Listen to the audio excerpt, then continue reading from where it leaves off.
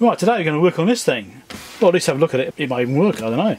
But it's a HP 3500A RMS voltmeter. So I've worked on this previously, and there's when I did the retrofitting of that circuit board I designed in it. So I put that um, chopper board, which I designed, into that unit because the original one was bad, and got that working. And those chopper boards are available to download and get them made from PCBWay or whatever. So that's all available as a project on PCBWay site for that. We'll look those up. This one's a much later version. So that one I had before was a 1965 model. This one's a 1982. So it's somewhat different. Now this actually might have the modern version of that circuit board which I designed, with a bit of luck anyway. First thing is, this is in a really weird case. I've never seen one of these cases before. So this case has actually got a model number on it. It's an HP 11076A instrument case. And you can see the actual original casing is in there, it's just slotted in. It's been unfortunate it's broken. I've never seen one of these cases before. It's really unusual. I even did a bit of a search online trying to find it and see if I could find this case. Couldn't find it. It was really weird. It's like there's just no information about them that I could find. Anyway, so we're going to start off with taking out the case, have a better look at it. We'll power it up and actually have a test out and see if it actually works. If it works, there's going to be a little interesting video about this particular case and this unit and just a bit of a look at it. If it doesn't work properly, then it's going to be a repair. Don't know yet. So there's some bits here which I think are locking tabs because it seem to move. I'm guessing it does something to allow it to come out, does it? Maybe. There we go. Oh yeah, yep, so that just tucks in behind. Right, today we're going to work on this thing. Well, at least have a look at it. It may not, I don't it may even work, I don't know. But it's a HP 3500A RMS voltmeter. So I've worked on this previously, and there's when I did the retrofitting of that circuit board I designed in it.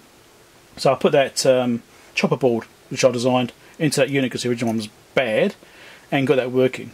And those chopper boards are available to download and get them made from PCBWay or whatever. So that's all available as a project on PCBWay site for that. We'll look those up. And this one's a much later version. So that one I had before was a 1965 model. This one's a 1982. So it's somewhat different. Now this actually might have the modern version of that circuit board which I designed. With a bit of luck anyway. So first thing is, this is in a really weird case. I've never seen one of these cases before.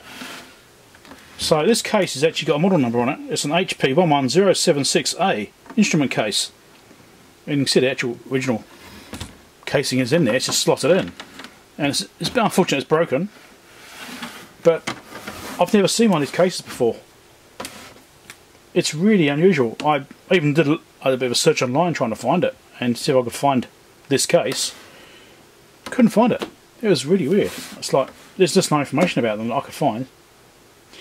Anyway, so we're going to start off with taking out the case, have a better look at it, and we'll power it up and actually have a test out and see if it actually works. If it works, it's just going to be an inter interesting little video about. Um, if it works, it's going to be a little interesting video about this particular case and this unit, and just a bit of a look at it. If it doesn't work properly, then it's going to be repair. Don't know yet. So there's some bits here which I think are locking tabs because they seem to move. I'm guessing it does something to allow it to come out, does it? Maybe. There we go. Oh yeah, yep, so that just tucks in behind. How that goes. When I actually purchased this thing, it didn't actually show the case. It just showed this outside of the case like a normal unit would be. The case was a surprise. Now I've got to try and get it out. Doesn't want to slide out. I think it's stuck just here. Let's turn upside down, or sideways or something. It's a shame it's broken at the back here. It's a, it's a real shame it's got that. But uh, what is holding this in? Right, got out of the case. It was just stuck on a bottom piece. Once I got a spudger in there and gave it a bit of a push, it actually just popped straight out. It was fine. So it was no particular complicated thing.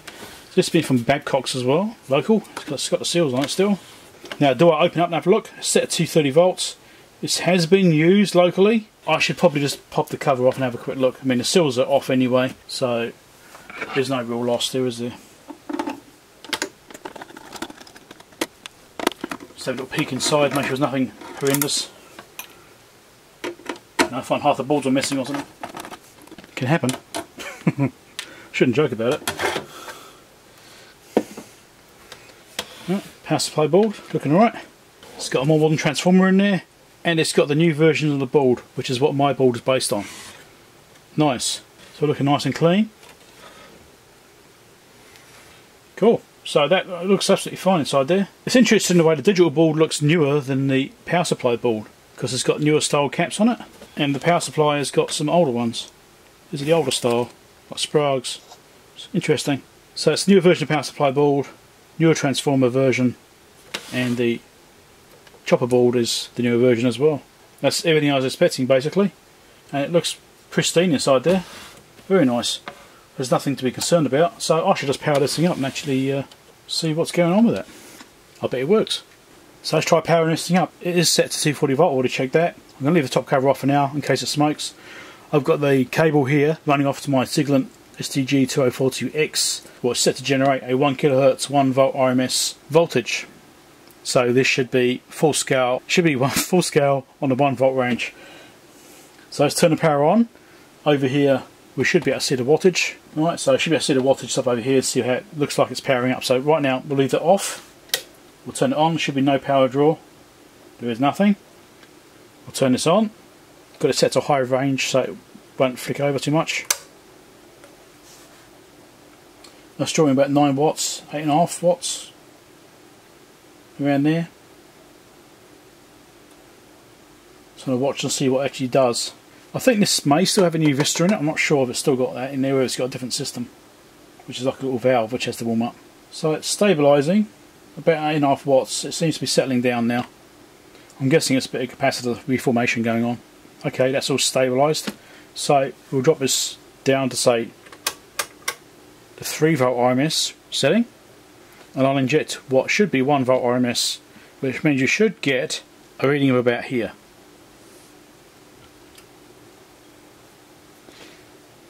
and we do. Look at that. Alright, so that's settled down, it's really slightly high. Okay, let's do 1 volt, but should be full scale. And it's just over very slightly. So does this need calibrating? Possibly. Might do some more verification using different generators and, and measurements and stuff like that to actually see what we're getting. So what we probably could do is tee this off and hook it up to a multimeter at the same time.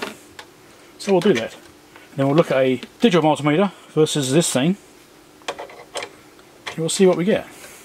Right, so I've hooked up the uh, Fluke 289 set to AC volt range. As you can see it's tapping off just here, straight onto the front of this meter. So that it's actually daisy chain, which isn't ideal. Really I should be tapping off directly from the front of the generator, be completely equivalent, but this is going to be close enough for our purposes. And you can see that we've got more than one volt on here, and bouncing slightly and basically almost exactly 1 volt there. This is actually reading very slightly high. So what's that, uh, about 1.08 or something? This does need calibrating. I'm actually surprised it needs calibrating to be honest, since it came from Babcock's. It's working, so that's the best bit I think. So let's try some lower levels and some high levels and we'll see what we're getting for accuracy there. So I've got that set now to 2 volts RMS, as you can see on here. And we're getting more than 2 volts and the 3 volts RMS getting very slightly below it there and that's over full scale there angles are slightly off for the camera it's way over let's do a 10 volt range so don't forget 3 volts so in the 10 volt range you should be over here on that mark right there. And we are sitting slightly higher. It's going to give some time to settle down. It does have a little bit of settling time. Yeah it looks like that's it. That's it. So let's go up to say 5 yeah that's over half scale. And the highest I can go on this generator is 7 volts. So that's maxed out there. But you can see here it's overreading. The maximum full scale on this is wrong. Now what I didn't check for was zeroing I should make sure it's got mechanical zero. I didn't check for that before I started. I should have done. So let's turn the power off. Mechanical zero looks basically bang on. So it's not that. But there is a full scale adjustment for the meter. Right there. I might find if I just tweak that full scale adjustment that might be all it needs without touching anything else. Because I believe there's actually a wire wound part. So I'll show you where it is actually. Not get tangled up. So right there is that one adjustment there. Now in the older version when I, have done a video on about already there's four adjustments in here. Is it four or three? I can't remember now. And they got moved onto this board here with the newer version of the board. But that adjustment there is for the meter. So I think the meter just needs adjusting. So we'll give that a bit of a tweak and we'll see if that comes right. So what I'll do is I'll set this at 1 volt RMS, do full scale 1 volt, and set that up there. But this is the wire wound adjustment and it could just be it needs a bit of a clean up and a bit of a tweak. No, it's actually going even minimum setting is off scale so it's not just that. And you just see it jumping around a bit then because it was a bit dirty but now I've just zoomed it around a little bit. Let's do this range there. So that's fully one way. Let it settle down. And fully the other way is too high. So even at its minimum setting, it's too high. Something else needs adjusting, so it's not just that. Which is a shame because that would have been a nice easy fix. So let's go down to a lower level. Let's do say 300 millivolts. 1 volt range. And that's say reading above. That should be full scale. And it kind of is. It's getting there. And the actual reading 297. So 100 millivolts. Should be full scale on there basically. Come on, settle down. The switch might need cleaning. Yeah, look at that, that's settled it down. Switch needs cleaning. And reading slightly low. So it's interesting, so the lower ranges are reading differently to the higher ranges. Interesting thing to note. So I'll do 50, it's about half scale, 30, just so slightly low like it was on a full scale, 30 over here. So what I might actually do is tweak this back up so these lower ranges are correct, and I'll just have to look at the higher range. You know, about there.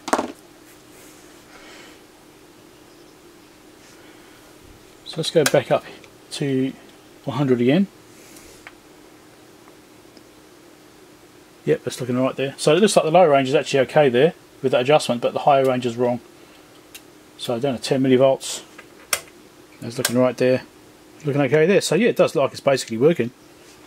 I just need to tweak the adjustments a little bit. Let's do 1 millivolt. It did say 1. 0.3 scale showing 1. 1 millivolt full scale is there. So all those all those ranges from here down at least are definitely working. So it looks like it's functional, but I'm going to need to look at what's required to uh, get these upper ranges working properly. Yeah, just that slight offset there, which is interesting. Right, it's quite a long time after the last piece of video I recorded. It's been sitting here for a while from it, waiting for me to get around to finishing it off. So I pulled it apart now, and I had issues with the switch being a little bit dirty, so I've put some of this deoxit gold on the switch just to clean the switch up a little bit worked it a bit. And this is still an older version, I suppose, with the Nuvistor set up in it. I thought that might be gone by now, but no, it's definitely still in this one. What year was this one again? I've forgotten. 82, 1982. So in the 1984 version, that's no longer present. So this is right at the end of the life of the Nuvistor section. I'm going to go around and check capacitors. In the previous one of these I did, I completely recapped the whole thing. But that was 20 years older than this one. Alright, so I'm just going to go around and check capacitors. I'm going to do it on camera. I'm just going to check them and see how they come out. I mean, this is all gold-plated boards as well. These are all gold-plated. It's really nice. Um, but one thing I've noticed is that on the um, previous one I did, all the foam was disintegrated, and basically it just fell and turned into dust. This foam is starting to go. Right, if I squash that, it stays squashed. Right, so we've got this foam there. Give that a poke. It stays like it pretty much. So this foam is right on the end of its life as well. So I'm going to take this foam out and do this. Now, the other thing I noticed is that this board is sitting on the plastic. It's actually surrounded by foam. The foam is there to try and protect the Nuvistor. I'm going to take this foam out and replace it as well. But I'll check on the capacitors first in case I need to take that board out anyway to replace caps. Um, it's possible I do. I don't know. They might be fine still. I mean, these are only 40 years old. they might be fine. We shall see. I'll check them out and I'll see. If they, the caps look fine, I won't bother replacing them in this one. This unit's in really good condition. I don't think it's actually had much use, to be honest. And then once I've done that, I'll look at recalibrating it. I mean, I've also got the power supply caps I've got to check out as well. We'll see how those are like. But I mean, for the performance check, it seemed basically to be functioning properly. It just had that reading error, which means it probably needs recalibrating. But that could be due to bad capacitors. It's possible. So, anyway, I'm going to go through and check these and I'll come back once I've done that. So I checked the capacitors and so far so good. It all tested okay so far. Here's the phone I've taken out and you can see it is disintegrating and it is starting to turn to dust. So basically got there just in time and it's actually what they used is a bit of double-sided tape. That's what I used to hold it in. Time for this new foam. Right, that's the new foam installed. You can see there and in that side. So that's good as new again, at least for I don't know, maybe 10 years or so until that foam degrades. Who knows how long it's going to last. It's better than what it was there. Well, I've got around checked every capacitor in it and everything is measuring really well. So I'm happy with all the caps. I'm not actually going to bother recapping it at all. It just looks really good. I mean, inside looks absolutely mint. Like it's just left the factory. It's beautiful inside. I'm going to leave it alone. I'm going to reinstall the covers, a couple of them anyway, and then I'll go through the calibration procedure I think and just make sure it's calibrated properly. Well, there you go, it's back together again.